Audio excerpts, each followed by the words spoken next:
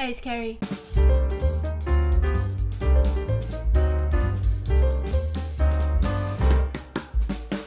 今天终于要来讲一下我五月看了哪些书。首先，第一本是《Brain on Fire》，中文翻译是我发疯的那段日子，看 NMDA 受皮脑炎幸存者自传。这本书我本来是没有什么兴趣，但是因为我的朋友刚好在看，所以我想要跟他讨论，我就找来看。这本书也被归类在心理学这个范畴之下，所以我想说，能无聊到哪里去呢？这本书我最后给两颗星。就像我之前说的，我对于这种自传、非文学类型的书，通常要给出比较低的评分，我都觉得很犹豫。我绝对不是不心疼他必须要经历这些恐怖的事情，但是这本书，我觉得以自传来讲，写的非常差。我不知道为什么他在 Goodreads 上面评分可以这么高。说实在的，我个人觉得。大家只是不好意思给他太低的评分，因为毕竟他经历了这么痛苦的一些回忆，我们怎么好意思再给出这本书负评呢？但是我好意思，这本书的主角 Susanna 在她二十几岁的时候，突然有一天开始觉得他手臂发麻，好像有蚂蚁一直在爬。然后他就请了除虫专家去他的公寓扫荡了一遍，但是什么都没有找到。他也去医院做了各式各样的检查，但是所有的报告都显示他没有任何的问题。随着时间过去，他的症状就越来越严重，比如说精神恍惚，开始有幻觉、幻听、恐慌症，情绪起伏很大等等。最后，他还因为一些看似很像是中邪的举动，被送入了医院。简单来讲，在那个年代，两千年出头的时候，还没有思觉失调症，所以大家都不知道他到底发生什么事。这本书从头到尾就是记录了 Susanna 从开始有症状，到症状越来越严重，到入院，到做各式各样的检查报告，到最后终于有一个医生给了他比较像样的答案，愿意帮他做大脑的切片，然后诊断为思觉失调症。我为什么给这本书两颗星？我们先不要讲他经历过的事情，我当然也觉得他很可怜，遇到这些事情。但是这本书记录的方法，我觉得非常的枯燥无味。作者 Susanna 他在现实生活中是一个记者，你可以很明显的看得出来，他是一个记者。首先，因为他对于自己那段所谓发疯的日子是完全没有记忆的，所以他书里面很多东西都是拼凑出来的。比如说，从他的日记拼凑出来，从他身边的人的采访拼凑出来，从他医院的记录、监视器拼凑出来。所以，我觉得某个程度上也注定了这本书，至少我自己读起来觉得非常的没有温度，很像在看一本三百多页的诊断书。说实在，要不是因为我对于心理学蛮有兴趣的，我可能真的会给这本书到。一颗星的程度，我觉得如果这本书是从他身边的人的视角出发的话，会有意义很多。当然不是说他不能透过自己记者的这个才能去收集资料，写一本关于自己的书。但是从头到尾我读起来就是觉得整本书硬邦邦的，啃不下去。照理说应该让我看了很揪心的一个故事，但我从头到尾一点感觉都没有。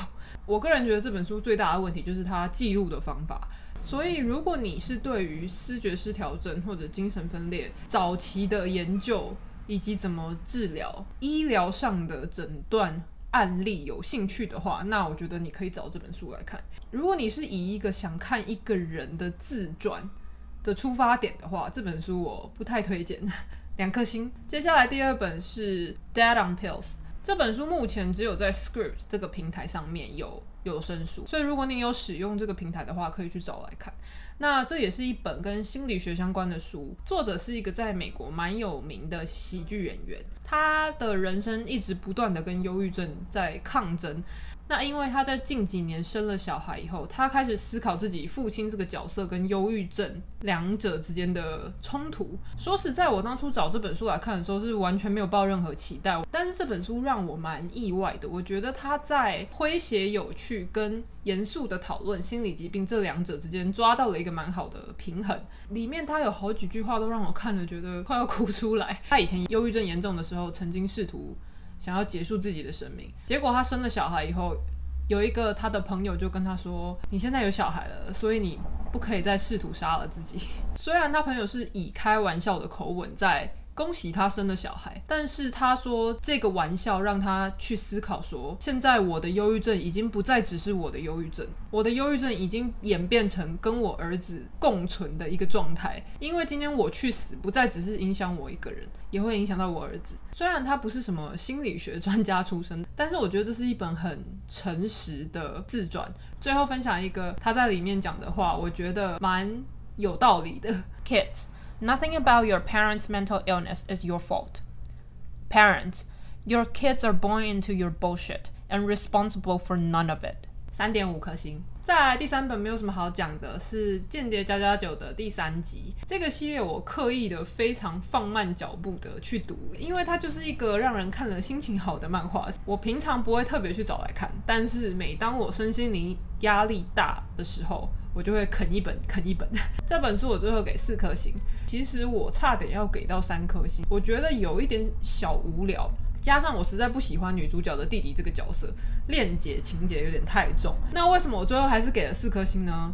如果你有看的话，躲避球那一回太可爱了，所以四颗星。接下来是一本经典的短篇小说，叫做《The Yellow Wallpaper》，中文翻译叫做《黄色壁纸》。这本书在美国好像有不少中学是他们的指定读物，被很多人说是女权主义的代表作。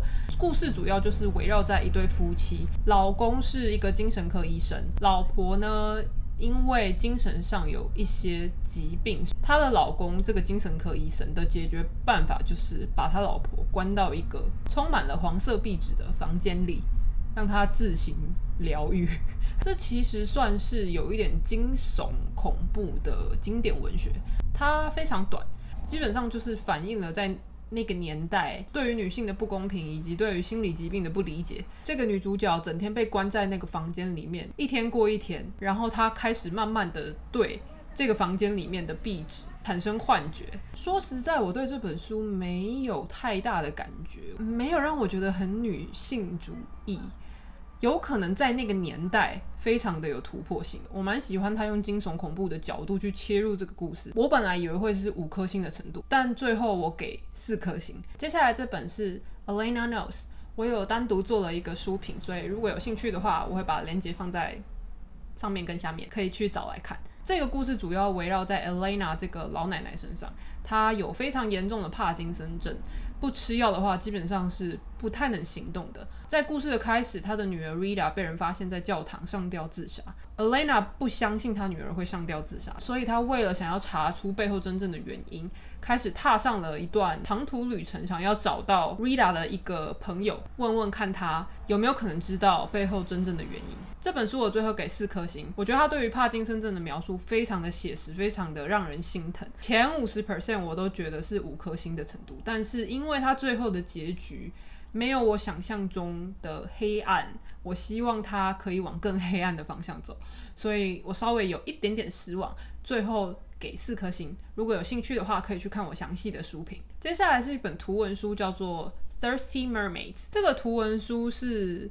成人的图文书倒不是说有什么色情、腥山、暴力的内容，因为它的主要角色是围绕在两个美人鱼跟一个海底的女巫。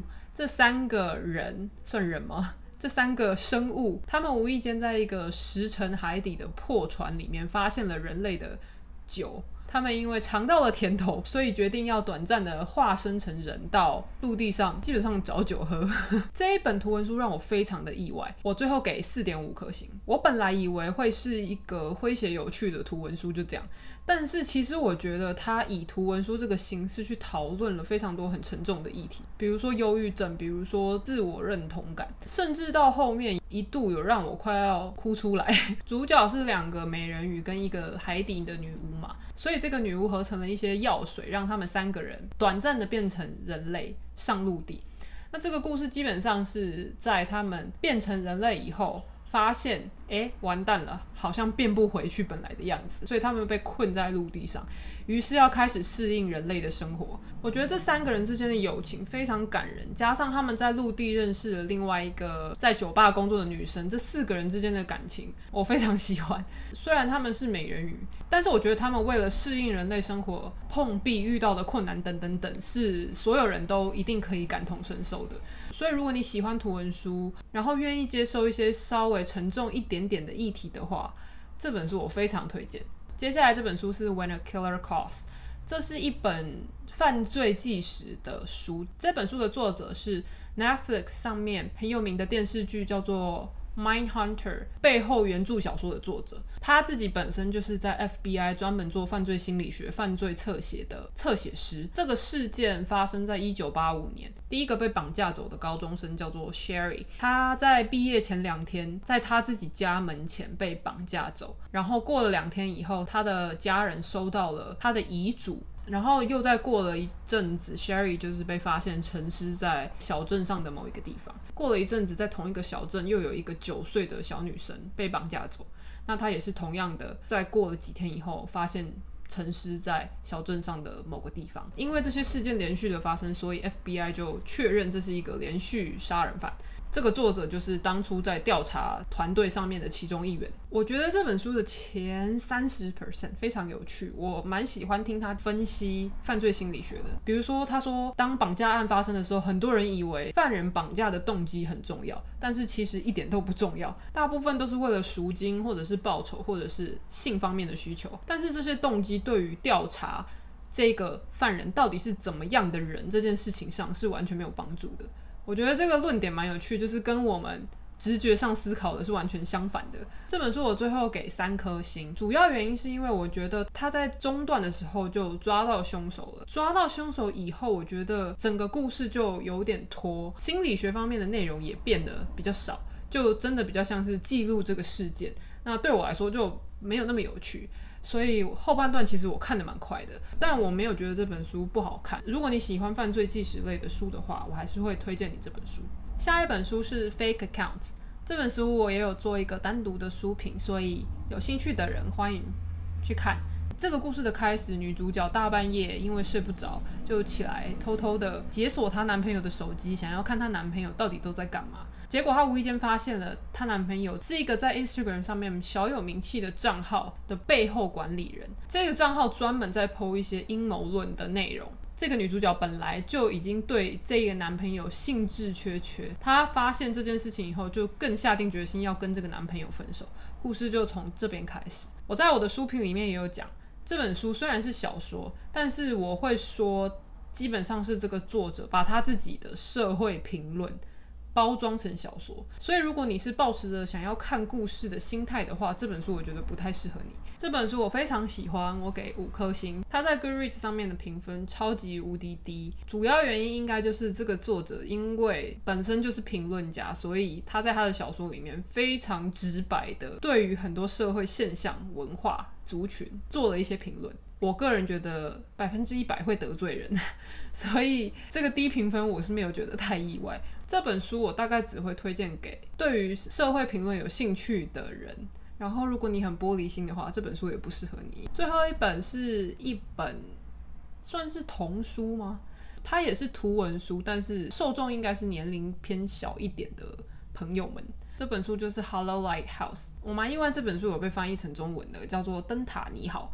它的内容就跟书名一样，主要就是在讲在海边的一个小岛上有一个灯塔，然后这个灯塔管理员每一天在灯塔里面都是怎么度过，需要做哪些事情，需要记录什么东西。这个灯塔在不同的天气下是怎么样的形态？这个故事基本上就是见证最后一任灯塔管理员的生活。因为随着科技的进步，灯塔不再需要有真正的人住在里面管理。我非常喜欢他整本书画画的风格，文字上配上灯塔管理员在灯塔里面每天做的事情，他的妻子以及他他们生的小孩，以及最后因为灯塔不再需要人为的管理，他们搬走了以后跟灯塔之间的关系等等等。当然不是说这本书有多深的寓意，可是我觉得它非常的温暖人心。这本书我最后给五颗星。如果你身边有小朋友，甚至不用小朋友，你就是需要一本读了觉得心里暖烘烘的书的话，我会推荐这本书。好，以上就是我五月读的几本书。如果你有看过以上几本书的话，欢迎留言跟我讨论。那我们下次见，拜。